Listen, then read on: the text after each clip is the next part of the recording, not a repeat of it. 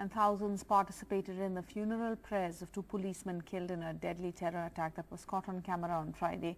Jammu and Kashmir police, which has been on the forefront in the fight against militancy, has been the main target of terrorists. And in the last three decades of militancy, around 1,500 policemen have been killed in Kashmir. Thousands coming out to mourn the tragic killing of Suhail Ahmed and Muhammad Yusuf at their funeral prayers in Anantnag and Kupwara. The fallen policemen were killed in a deadly terrorist attack on Friday that was caught on camera. Survived by a wife and two children, Suhail is the second policeman in his family killed in a terrorist attack. His uncle, an assistant sub-inspector of the Jammu and Kashmir police, was also killed during a terrorist attack in Anantnag town two years ago.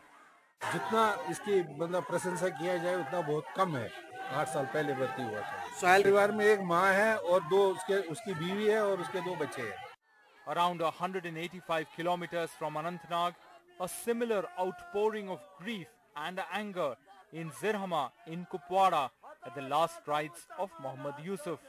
The family has lost their sole breadwinner.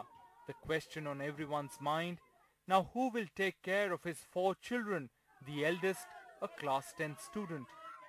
ये खून खराबा अगर रोज रोज होता है ये मरते हैं police वाले मरते हैं वो भी कश्मीरी है। सिविल मरते हैं वो भी कश्मीरी है। तो हर तरफ़ से कश्मीरी मर रहा है। इसको कोई होना चाहिए। कमाने वाला ये एक ही था ये शहीद हो गया बेचारा। और कमाने वाला कोई नहीं छोटे छोटे बच्चे। The deadly attack caught on camera has shocked everyone in Kashmir. And the participation of thousands of people in last rites of fallen policemen clearly shows that people are against such killings and stand with the victims of violence. In Srinagar, Nazir Masoodi, NDTV.